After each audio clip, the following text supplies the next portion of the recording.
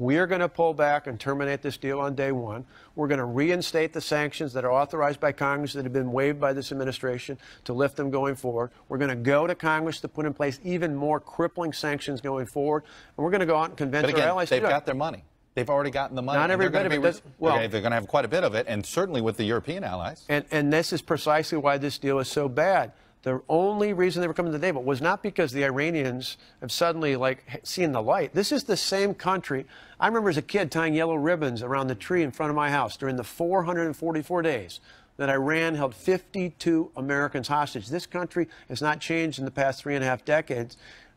The reason that this country is at the table is because of two things. One, the sanctions were working mm-hmm. and they're at their knees and wanted relief. And two, this administration, Barack Obama in the early stages, Hillary Clinton, were pushing for this to happen, even though the president said repeatedly, we're not going to allow this to happen if they're in violation of UN Security Council resolutions. They're in violation of, I believe, at least six. He said you got to have the ability to have immediate uh, ability to inspect underground facilities like Fordo. That's not a part of the deal. They said this has got to be a permanent deal. It's not. On all the major things, or nearly all the major things this president said had to be part of the deal, he has moved. He's moved closer and closer to Iran.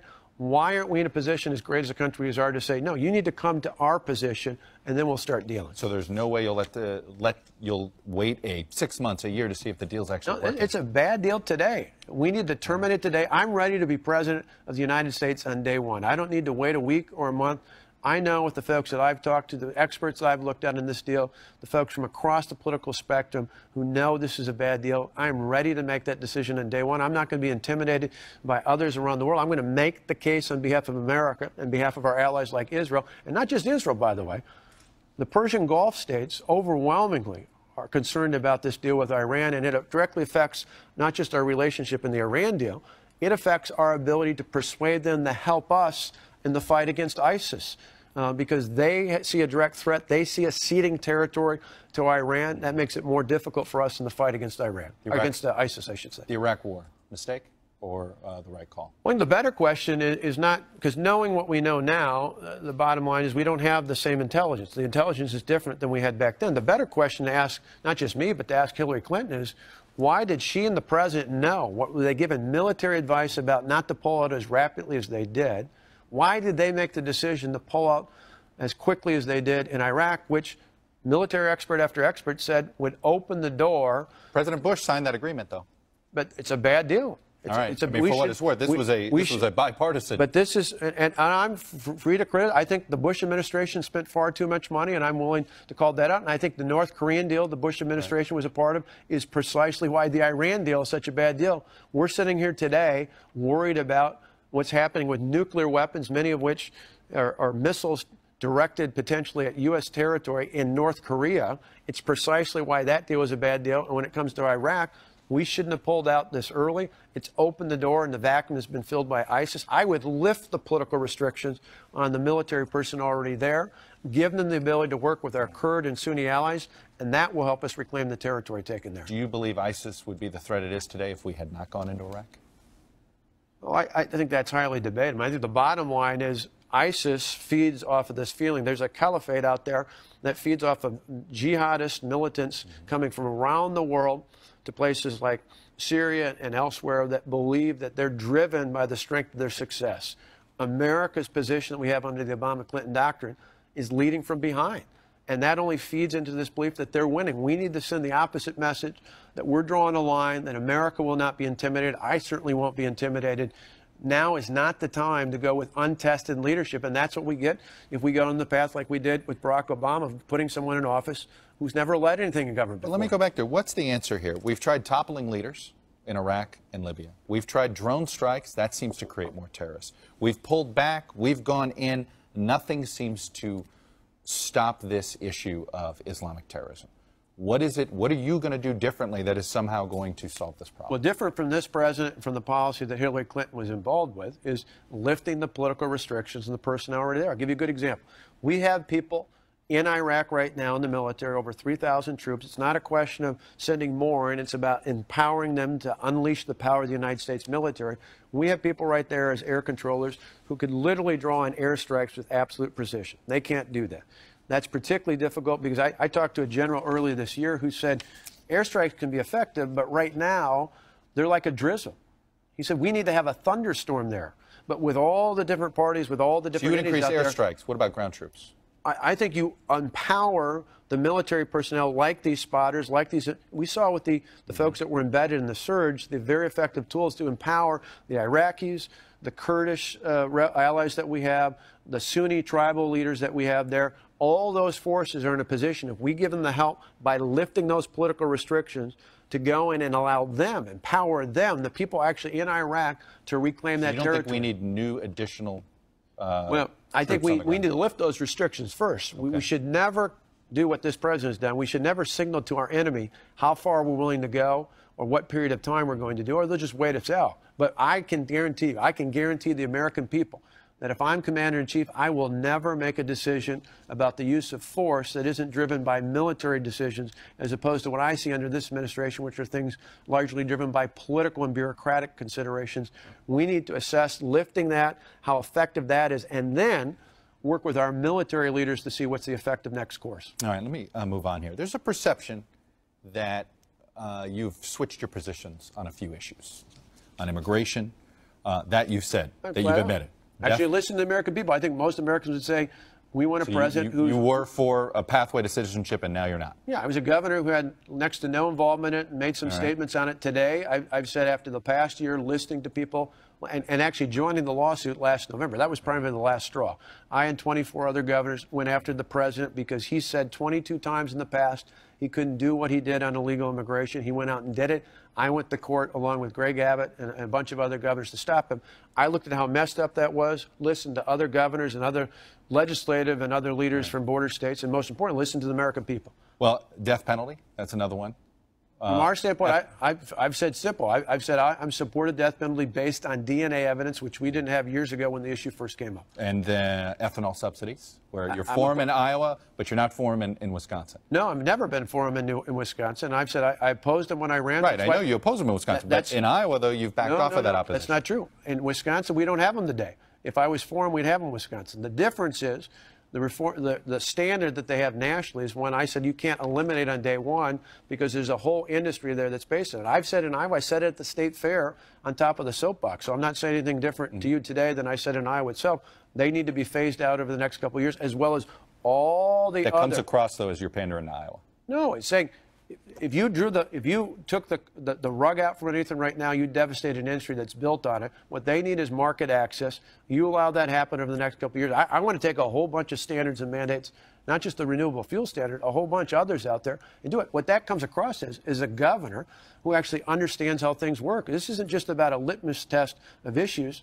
This is about understanding how people really live in their lives. And an eye when it comes to the ag community, mm. something I, will, I know well coming from an ag state, is you can't just pull the rug out. But I don't believe long term it should be there. That's why my guide was to do it over the next couple of years. And then there was the comment you made at the end of the 2014 on same-sex marriage. You said, for us, meaning Wisconsin, the debate is over.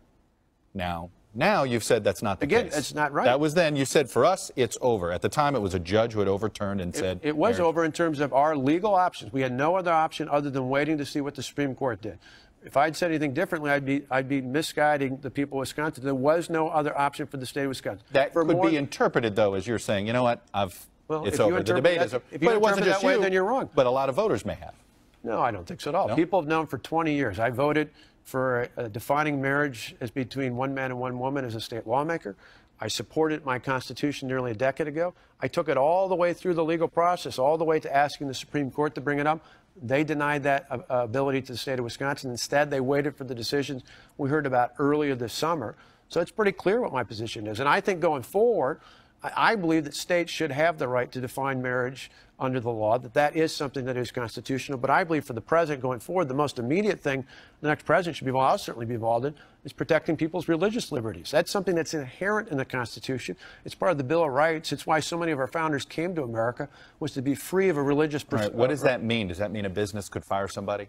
Um, That, that that's means, gay? that means Just because they're gay? That means, well, that means you have to have that balance up. That means making sure that we uphold the Constitution, which says you have the freedom of religion, not freedom from religion, the freedom of religion. And that means, I'll just, just speak about it, our Justice Department, our IRS, and others out there uh, will uphold that. For most cases, what it's likely to mean is protecting religious institutions uh, like churches, like synagogues, like organizations, like schools and others there that I think are very, very concerned today in light of the decision. So it's possible under religious, uh, using freedom of religion, that you think that a, um, a business could fire somebody. No, I think I think the best examples are in Wisconsin. We have explicit language in our state's constitution. We also have language against discrimination. It has worked for years. Mm-hmm. I don't get all the fuss elsewhere around the country. Look at what we've done in Wisconsin. We do a very good job of clearly stating in our, our state constitution that we protect people's religious liberties. It has worked year after year after year. Mm-hmm. At the same time, we have very clear language and have for some time that prohibits discrimination. We've been able to find that balance out there, and I think that's something people are going to expect out of the next president. You know, one of the things I was surprised doing some research was that uh, African Americans uh, in the state of Wisconsin, there's a higher incarceration rate in the state of Wisconsin for African American men than anywhere in the country. Uh, there was a study that said African American children in Wisconsin rank 50th in the nation when it comes to uh, when it comes to opportunity, and African American unemployment is double the national average. Why is that? Well, it's a sad truth. It's been true for decades. And part of it is, I think, some of the poor policies in the city of Milwaukee. We pushed back on it. You look at the Milwaukee uh, public school systems had a real challenge. One of the big uh, disparities has been, amongst many others in the country, has been there. It's part of the reason why I've been such an advocate long before I was governor for school choice to give African American and Latino and other families the ability to get beyond some of the school, schools in those neighborhoods that weren't living up to those standards. It's why, as governor, I put in place major reforms that empower not just Milwaukee, but the 423 other school districts to go out and do reforms. That feel like this is on Milwaukee? There's not much more you could have done? Well, I mean, right now it's one of those where we've we've done all sorts of things. In fact, we put hundreds of millions of dollars in to try and help rebuild the economy out there. But again, you got to have leaders that are willing to use the tools that we've given them. Um, those are things we're committed to. And as president, I'm going to try and empower cities, towns, villages of all different sizes around this country to have more freedom and more liberties to do things without the restrictions from Washington and out without some of the restrictions that you've seen one of the biggest areas of big government union control has come in places like Milwaukee, which have been abysmal failure. I remember years ago, one of the examples I gave was Milwaukee, a year before I was elected governor, had a reduction in aid from the state government when Democrats controlled everything. Mm. One of the first people to be laid off was someone who had just been announced as the outstanding new English teacher of the year for the entire state. Exactly the kind of teacher you'd want in, in a district that has the challenges like it does in Milwaukee she was one of the first laid off because under the old union contracts, under the old collective bargaining before my reforms, the last hired was the first fired. The last in was the first out. Our reforms have opened the door, and school districts like Milwaukee, not only my state, but others across the country, hopefully can use those reforms to do a better job of providing a quality education. Quality education, trying to do more to strengthen families, providing more training and opportunity, not just in K through 12, but beyond for people to get into the workforce, and then helping make sure that there are more jobs by unleashing the power of the private sector to get government out of the way. Those are the things that will help not only Milwaukee, but across the country. Uh, let me close with this. The Milwaukee Journal Sentinel, a newspaper that endorsed you in 2010 and endorsed you in 2012, recently called you among the most divisive politicians in, in living memory. We have a Washington here, I'll be honest with you, it's hopelessly divided and polarized and partisan. How do you somehow be the guy that unites it? A lot of people are sitting there saying, well, Scott Walker is not going to be able to uh, make Washington less polarizing. What do you say to you that? You know what Americans want more than anything? They want Washington to work. It, it, coming together, working across party lines, we, we've seen for decades in this city that politicians on both sides, I might argue more Democrats and Republicans on both sides, have largely worked together in ignoring the debt and deficit problems of the country. They've ignored some of the big challenges that are on the horizon for my children and the other children and, and those yet to come out there. So just working across party lines, if it doesn't mean getting things done, is not what Americans are looking for. What they're looking for are leaders that actually get things done. And sure, did I get some pushback? Yeah, because I came in and said instead of talking about things, I'm going to get right to work and I'm going to start fixing things. Mm-hmm. Most politicians talk about things, but they don't fix them. I fixed things and didn't talk about them. What I've learned going forward, yeah, I admit my mistakes. You got to do both. You got to talk about it. You got to constantly explain to people what's at stake, what's at risk, what do we need to do to help future generations as opposed to just future elections. And that's what we did. And sometimes the status quo defenders don't like that. And they're not going to like that a lot in Washington.